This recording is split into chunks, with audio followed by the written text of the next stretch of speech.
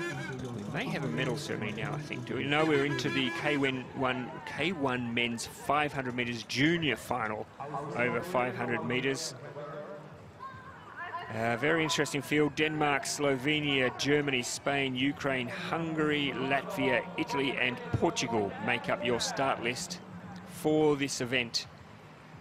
Uh, and well, let's have a look. The Europeans are the reigning, uh, sorry, the Hungarians are the reigning champions, but not the athlete who's competing in this race. So that just underlines once again the depth of this country. In lane two, there you have uh, Manfreda from Slovenia in lane two. On his inside was Nikolai Bride from Denmark. Lane three, the German, Jonas Borkowski. In lane four, Caballero, he's had a very good week this week from Spain, eighth in the European Championships this year. The Ukrainian, Voloshin, fifth in the European Championships this year. Lane six, Hidvegi from Hungary, trying to keep this medal in Hungarian hands. In lane seven from Latvia, Yanis Korets from Latvia. In lane eight, we have Spadacini from Italy, second in the European Championships this year. Could Italy win another medal? And on the outside, Goncalves from Portugal. Jen, tell me what you know.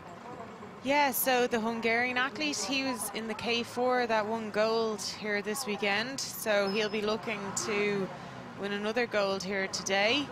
Uh, the Italian uh, won a silver medal in the mixed K2 final here at these championships, so I'm sure he's going to want to add another medal to his tally, but you know, the K1 will be a little bit different.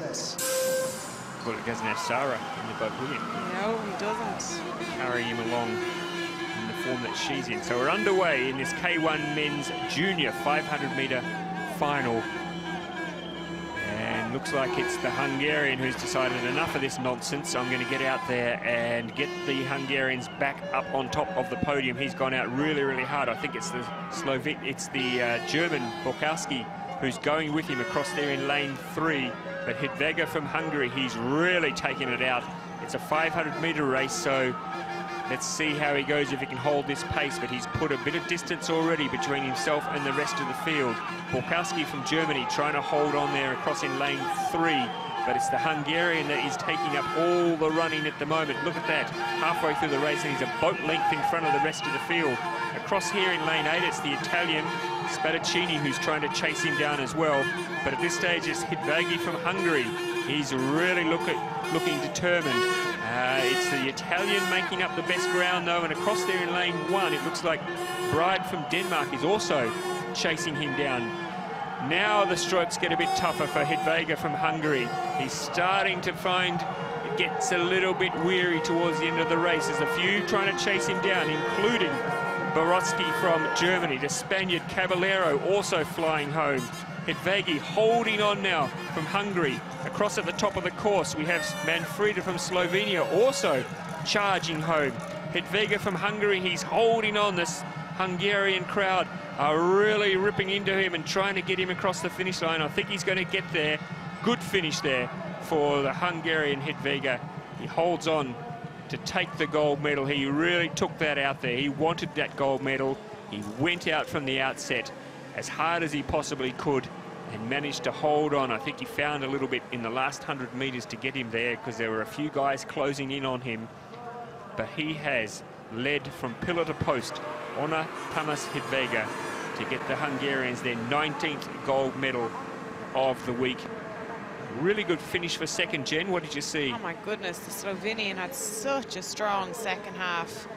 Um, I'm going to presume he's being coached by Yurni, um, but not entirely sure that. I know Yurni is one of the coaches on the team, but he just came through with 200 meters to go. Like, like the first half was just so easy for him. And you know, sometimes people say the race only starts oh, with 200 meters to go. Oh, look at that. So it is. I think you're right, Jen. I think the Slovenian got there. And maybe the German held on for third. Yeah, it looks. Or was it the Spaniard? Moby Caballero from Spain who got there.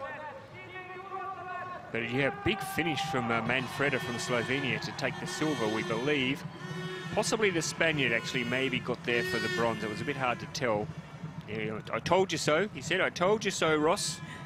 19 gold medals now, man. Count them. Uh, yes, so the Spaniard Caballero there, confirmation. Look, look how tight that is for second and third. No doubt about the winner, Hidvegi from Hungary, Manfreda from Slovenia, and Caballero from Spain taking the bronze medal in a great finish for that uh, K1 men's 500 metres. And the crowd here, another good solid crowd out here, as you would expect. They love their canoe sprint in this part of the world. On a Sunday morning, a lot of them giving up church to come here to uh, to watch their other religion, to take part in their. They, you get a choice here in Hungary. You know that, don't you? You could choose. You've got two religions. One's kayaking. One of them is kayaking, and that takes priority on a Sunday morning for most, it seems.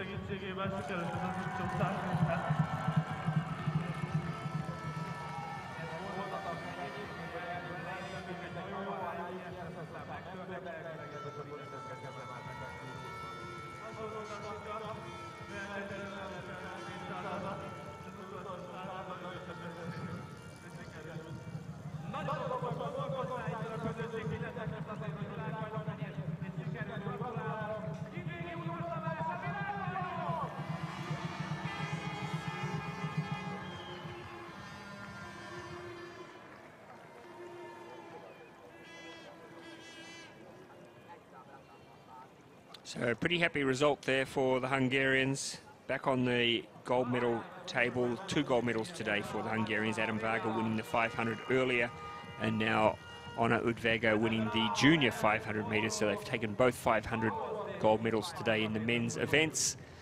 Pretty strong.